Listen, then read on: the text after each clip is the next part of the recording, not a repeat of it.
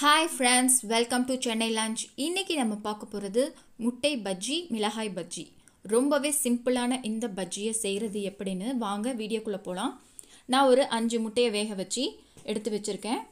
இப்போ பாருங்கள் அந்த முட்டையை வேக வச்சதில் சுற்றி இந்த மாதிரி ஃபோக் ஸ்பூனால் குத்தி விட்டுக்கோங்க. இல்லைன்னா கத்தியில் கீரியும் விட்டுக்கலாம். இப்போ கால் கப் அளவுக்கு டூ டைம்ஸ் போட்டுக்கோங்க. கடலை மாவு.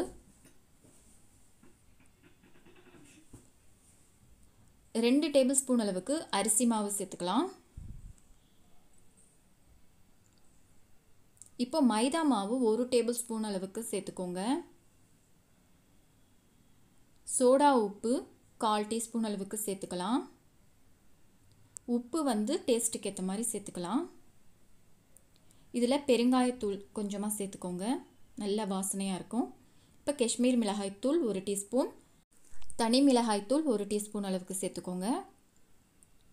கார்ன்ஃப்ளோர் ஒரு டேபிள் ஸ்பூன் அளவுக்கு சேர்த்துக்கலாம்.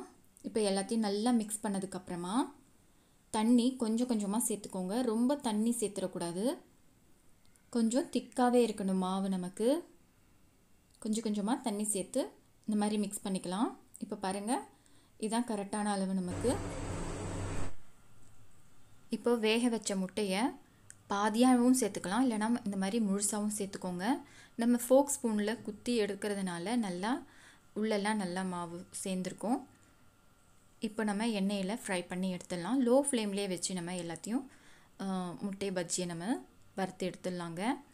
ரொம்பவே சிம்பிளான இந்த முட்டை பஜ்ஜியை நீங்களும் வீட்டில் ட்ரை பண்ணி பாருங்கள் டீ போடுற கொஞ்ச நேரத்துலேயே நம்ம இதை செஞ்சு முடிச்சிடலாங்க. இப்போ எல்லா முட்டையும் நான் பஜ்ஜி போட்டு எடுத்துட்டேன். இப்போ அதே மாதிரி மிளகாய் பஜ்ஜியும் போட்டுடலாம் மிளகாயை கழுவி நான் அந்த மாதிரி தொடச்சி வச்சுருக்கேங்க. இப்போ முனையில் இந்த மாதிரி கீறிக்கோங்க. அப்போ தான் உள்ளே நமக்கு மாவெல்லாம் சேரும். இப்போ அதையும் பஜ்ஜி போட்டு எடுத்துடலாம்.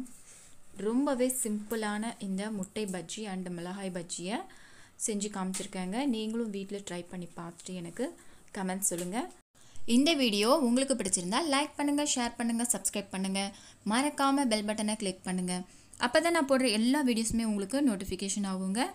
இந்த வீடியோ பார்த்ததுக்கு நன்றி.